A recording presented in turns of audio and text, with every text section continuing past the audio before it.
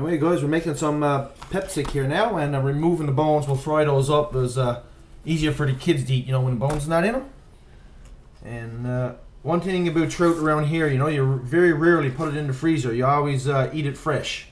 You know, it's easy to get, so and it's better enjoyed fresh.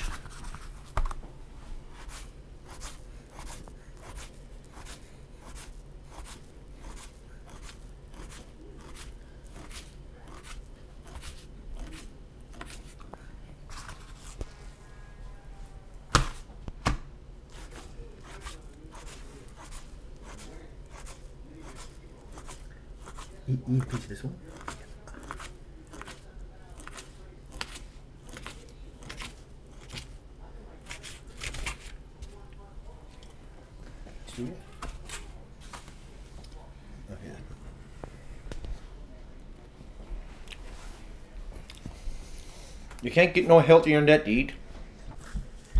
You can see, guys, that he's not cutting straight down through. He's actually angling the cut, and that's for uh, when you actually hang it up. It'll uh, open up and dry quicker that way.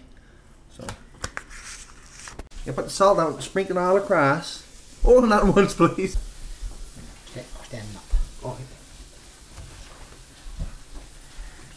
Yeah, sprinkle the salt. Oh, that's a good job. Next one now. Next one. That's good. That's good. Next one.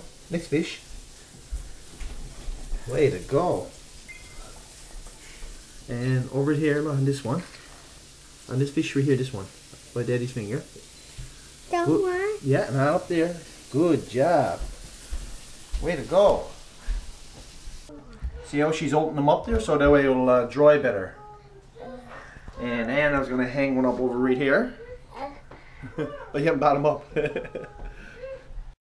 it. That's right, just like that. Excellent. You have to wash your hands. and guys, these caribou racks, you know, with the long points make great drying racks. And uh, I think I'm going to put one of that down to the cabin also. So, so anyways, one o'clock now, and uh, we'll just uh, check on this later on. What are you doing, Anna? You open them up so they dry better? Yeah. Yeah, that's right. See, On the other side. and do the other side. Ah, wonderful job. Well, guys, I, I try to do a little conclusion here now before all the fish is gone. And uh, as you can see now, this uh, this was drying here now for uh, 48 hours. I'll put bring it over here into the light here. And uh, this here was uh, drying for uh, 48 hours. Uh, even another 24 hours before probably is completely dried. But uh, I like it after 24 hours the best. But most people like it dried, you know, until it's completely dried.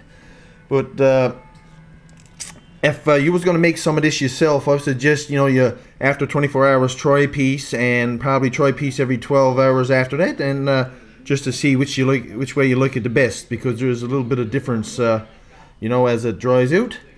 And uh, one last thing is I never showed it the first one, but uh, you know when you uh, if a trout is froze or whatever and then he ties, uh, it gets like a little bit of slime on him.